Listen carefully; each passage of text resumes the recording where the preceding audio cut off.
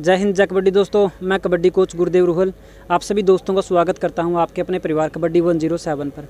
तो आज फिर एक प्रो कबड्डी खिलाड़ी से इंडिया लेवल के खिलाड़ी से आपको रूबरू करवाएँगे। तो सबसे पहले राहुल भाई सभी खिलाड़ियों को दर्शकों को एक बार जय हिंद ज़रूर बोल दें। जय हिंद भाइयों कैसे हो आप सब? तो सबसे पहले आपका पूरा परिचय जो है आपका गाँव का नाम आपके तहसील का जिला का नाम और आपके राज्य का नाम हमारे खिलाड़ियों को बताएँ मैं भाई डिस्ट्रिक्ट बिजनौर का हूँ। गाँव जलालपुर छोइया है और स्टेट उत्तर प्रदेश। तो सबसे पहला एक कॉमन सा क्वेश्चन होता है कि कबड्डी की शुरुआत का? तो कबड्डी की शुरुआत अपने आपने कब की और कैसे की? कबड्डी की शुरुआत जैसे कि गाँव में पहले लगभग दो तीन गेम होते थे। गाँव में खेले जाते थे कुश्ती कबड्डी और बहुत सारे गेम थे। कैन पत्ता वगैरह होती थी। तो कबड्डी ज़्यादा होता था प्रेमी गेम होता था। तो जब गाँव के जो सीनियर थे वो खेलते थे उनको देखते थे हम भी। तो देखते देखते हम भी थोड़ा कबड्डी सीखने फिर बीच में छोड़ दी कबड्डी। फिर अपना जॉब के बारे में देखने लगे। हाँ। और बाद में 2011 से मैंने पूरा कबड्डी में फोकस दिया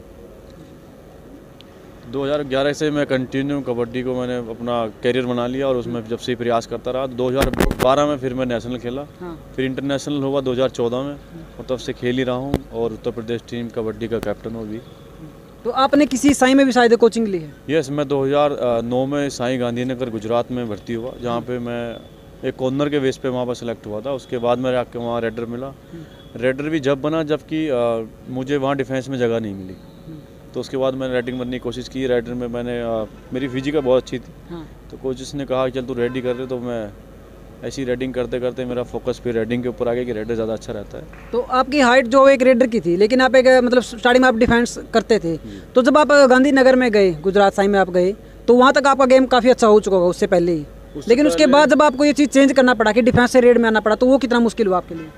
बहुत ज़्यादा डिफ़िकल्ट था क्योंकि एकदम से मूवमेंट चेक चेंज नहीं कर सकते। इसलिए मैं दोनों साइड से रेड मारता हूँ। क्योंकि मेरा कोई मूवमेंट नहीं था खाली स्पीड कबड्डी में मान लीजिए या फिर नेशनल टीम में मान लीजिए बहुत काफ़ी कम रेडर ऐसे हैं जो दोनों तरफ़ से रेड करते हैं। और आप एक ऐसे रेडर जो दोनों तरफ़ से बिल्कुल बराबर रेड करते हो। हाँ जी।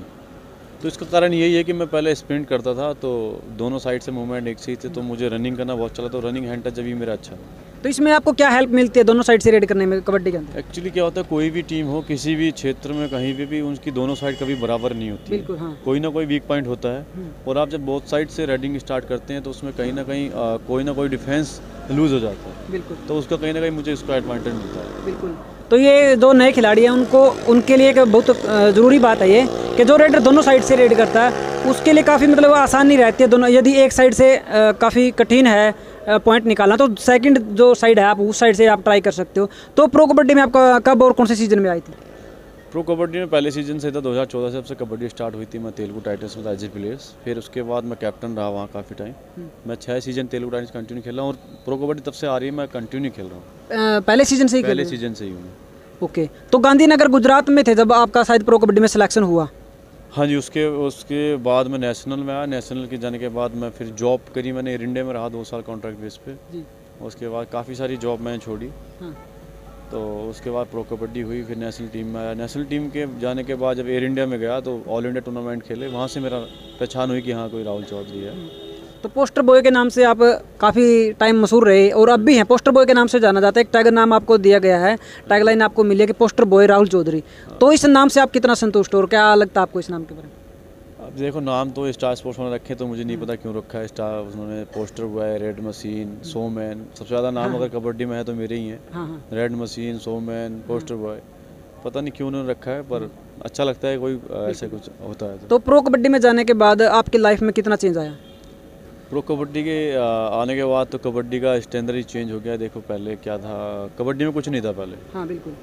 कटोरियाँ चम्मच टूर्नामेंटों में मिलती बर्तन वगैरह ही मिलते थे। घर वाले डंडा बजाते थे। हाँ हाँ। क्योंकि कुछ मिलता नहीं था। हम्म। और हमारे यहाँ इतना इसका खौफ भी नहीं था कि कबड्डी से जॉब वगैरह भी ये भी नहीं पता था पहले। तो प्रो कबड्डी आने से इसमें सब कुछ ही बढ़ गया। आपको देखो जितने भी कबड्डी प्लेयर हैं सब अपनी अपनी गाड़ी से हैं। हाँ। एक से एक गाड़ी हैं कपड़े अच्छे पहनते हैं। अभी पहले क्या था वही चले गए कहीं दो सौ चार सौ रुपये टी शर्ट पहन ली पर अभी स्टैंडर्ड बहुत अप हो गया है। प्रो कबड्डी आने से हमारी जो रहने सहने का स्टाइल है बोलने चालने का जो है सिस्टम है सब ज़्यादा चेंज हो गया है। पहले तो ऐसे है यार आजा क्या है?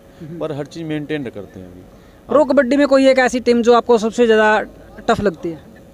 प्रो कबड्डी में ऐसी कोई टीम है जो टफ लगती है पर सही है सभी टीम अच्छी होती हैं। बस ये है कि जिसके ऊपर जो हैवी हो जाए वही टीम हल्की हो जाती है और जो अपने ऊपर हैवी जो वो है स्ट्रांग हो जाती है। और आपका कोई फेवरेट डिफेंडर मेरा सबसे बढ़िया संदीप डुल संदीप ढूल। साइलेंट रहता है साइलेंट क्लर्क क्या नाम है? लड़का ब्यूटीफुल नाम संदीप ढूल। हाँ वो सुनील तनेजा का डायलॉग है। हाँ हाँ। और काफ़ी मशहूर जैसे आप पोस्टर बॉय के नाम से मशहूर हो ना हाँ, तो वैसे संदीप ढुल को भी मशहूर कर दिया गया ब्यूटीफुल के नाम से।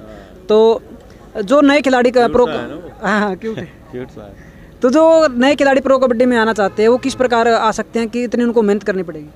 देखो अभी अ, देखो किसी भी क्षेत्र में जाना हो आपको कड़ी मेहनत तो करनी पड़ेगी। अगर आप प्रो कबड्डी आना तो कबड्डी का फ्यूचर इतना अच्छा है कि बहुत ज़्यादा ब्राइट है। क्रिकेट के बाद अगर देखा जाए तो एक कबड्डी है जिसमें आप अपना ड्रीम पूरा कर सकते। हो। और बहुत ही एक किट किट कितने की आती है? पाँच सौ छः सौ रुपये किट बन जाती है। और घर में आप दाल रोटी खा के कबड्डी प्लेयर बन जाएँगे। तो ये है कि आपको उसमें कम से कम दो तीन घंटा प्रैक्टिस करनी पड़ेगी।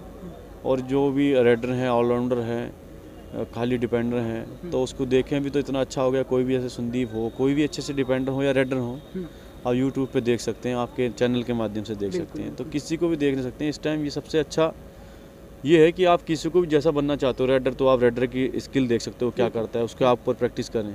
तो यही कि आप जिस भी क्षेत्र में जाना चाहते हो रेडर ऑलराउंडर डिपेंडर तो उसमें आप वीडियोस देखिए उसके ऊपर आप एक दो घंटा उसके ऊपर स्किल करिएगा। तो आप ज़रूर सक्सेसफुल होंगे। तो आपकी जो कबड्डी की जो लाइफ रही है अभी तक की उसमें सबसे कोई खास मूवमेंट आपका रहा हो? खास मोमेंट तो वही था जब दो हज़ार चौदह में जब पहली बार प्रो कबड्डी हुई थी और मैं बेस्ट रेडर में आया था वहाँ पे और बढ़िया मेरा गेम हुआ था। तो सब जगह पोस्टर बॉय पोस्टर बॉय उस टाइम मेरा मतलब कि लगा कि हाँ मैंने कुछ ज़िंदगी में किया है। बिल्कुल। तो लाइफ में जब आपने कबड्डी स्टार्ट किया और यहाँ तक पहुँचने तक इंडिया लेवल तक पहुँचने तक आपको किन किन कठिनाइयों का सामना करना पड़ा? एक्चुअली मैं तो कभी कठिनाई करनी नहीं पड़ी क्योंकि मैं प्रैक्टिस करता था और मेरा ऊपर वाले ने बहुत साथ दिया है और दे रहा है। क्योंकि कभी मुझे देखना नहीं पड़ा यूपी से मैं अकेला रेडर रहता था तो और बढ़िया टीम खेलती थी मेरी। तो उस हिसाब से सही चलता रहता था। तो ऐसा कोई ऐसा कोई मोड नहीं आया कि मुझे बहुत ज़्यादा तो आपकी फैमिली का क्या रिस्पॉन्स था जब आपने गेम स्टार्ट किया? रोक रहे थे आपको या फिर कबड्डी में लेके जा रहे थे या फिर वो साइलेंट थे संदीप ढुल की तरह? मुझे मुझे लगता है कि हरियाणा थोड़ा ऐसा है जो कि प्लेयर्स को भेजता है कि घर से। हाँ, हाँ। अदर स्टेट जो है वो मुझे लगता है कि इतना नहीं भेजते। तो मेरे यहाँ मेरे माँ बाप बहुत पीटते थे पढ़ाई को लेके। हाँ।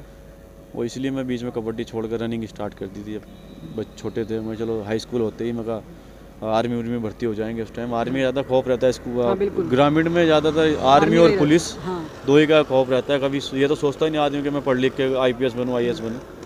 तो ये ज़्यादा पिटाई बहुत ज़्यादा होती थी।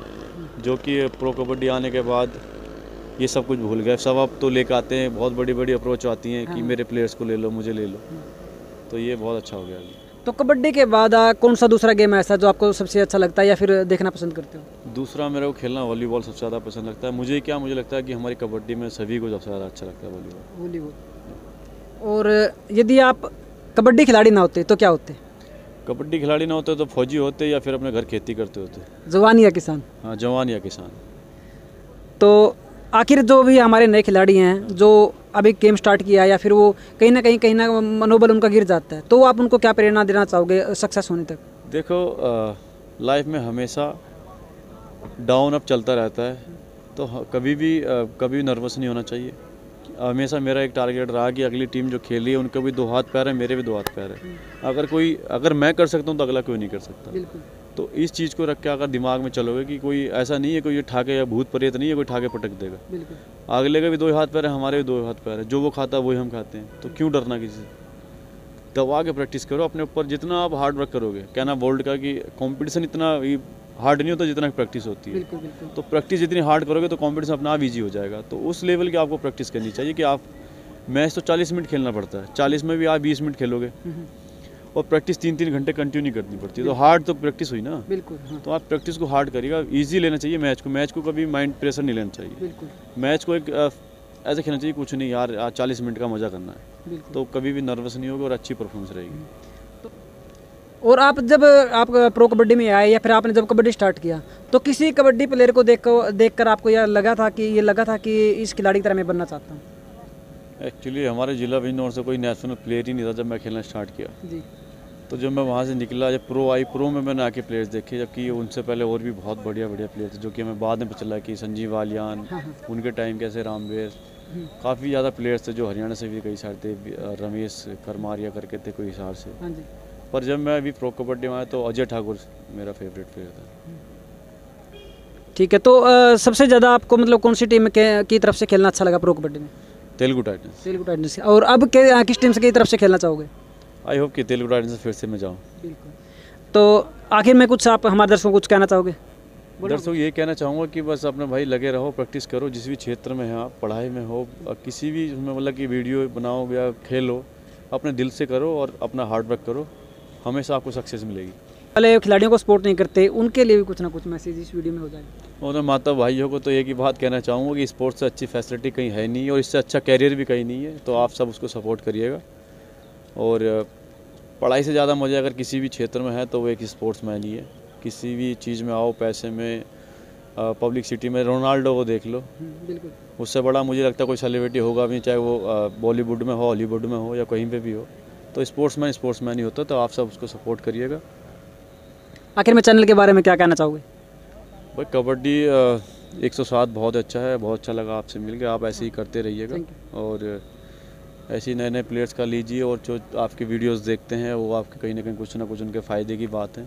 ऐसे अच्छे अच्छे प्लेयर्स का आप उनको बताते हैं कि भाई कैसे बना कैसे नहीं। तो आपका बहुत अच्छा स्टाफ है आप ऐसे ही आगे करते रहिएगा। तो दोस्तों आज हमारे साथ जुड़ते राहुल चौधरी और आगे ही ऐसी वीडियो देखने के लिए हमारे चैनल को सब्सक्राइब करें वीडियो को लाइक करें और चैनल को सब्सक्राइब करें बेल का आइकन दबा लेना और वीडियो को लाइक कर दें वीडियो को शेयर ज़रूर कर देना। जय हिंद जय कबड्डी जय भारत। ओके